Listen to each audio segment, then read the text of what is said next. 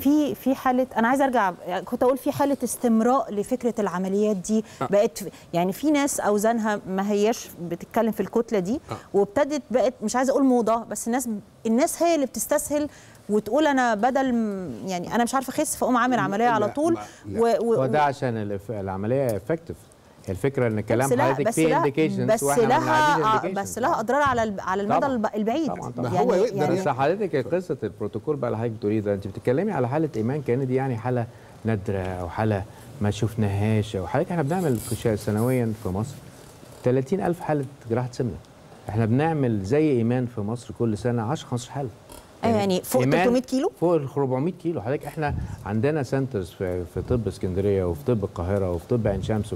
إحنا ابتدينا العمليات دي في مصر من أكتر من 21 سنة. حضرتك إحنا الهند ابتدوا بعدينا ب 10 سنين. أنا في 2006 رحت الهند عملت لهم عمليات علمتهم إزاي يعملوا bypass بالمنظار عشان يبتدوا يعملوا عمليات هناك.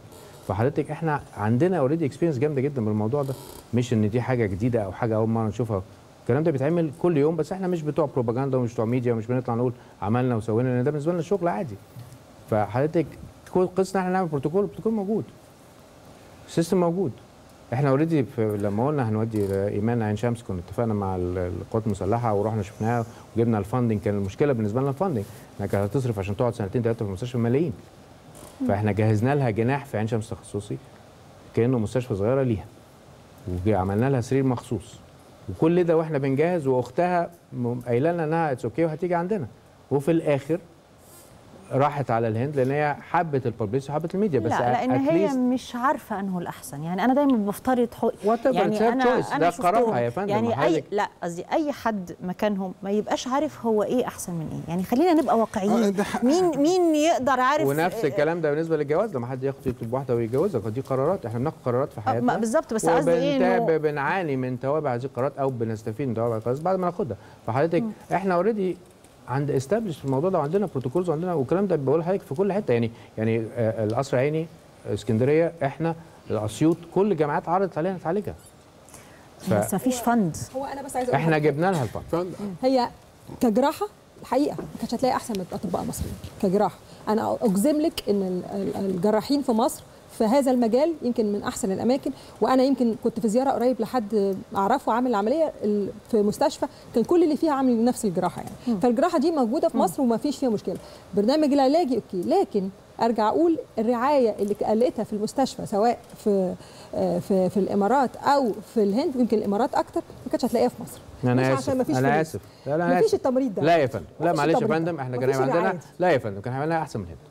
ماشي؟ بس الفكرة إن حضرتك ال criticism بتاعنا في مصر إن انت لو كانت ضربت جرس الممرضة ما جاتش كانت هتطلع له شوفوا مصر شوفوا مصر شوفوا مصر. إنما الكلام ده لما يحصل في الهند وبيحصل في الإمارات it's okay لا يا فندم إحنا عندنا طب عالمي. عندنا بيجي لنا ناس من كل حتة. بيجي لنا الأمراء وبيجي لنا الملوك وبيجي لنا ال celebrities والمغنيين. كل الناس بيجي لنا وبيعملوا عندنا. إزاي يا فندم الكلام ده؟ لا لا أنا لا أنا أعترض دي على أنا هذا الكلام. بختلف مع حضرتك. الحاله زي دي هتقعد في المستشفى زي ما قعدت تسع شهور حضرتك إحنا إحنا برعايه برعايه. ما هي الحاله حالة إيمان. خليني اكلمك على حالة إيمان. ما ماتت لا بس مش من عدم الرعاية. يا فندم يا فندم يا فندم. حالة دكتور خالد إحنا مش مش بن عمالين نقارن من الأكفأ ومين الأشطر.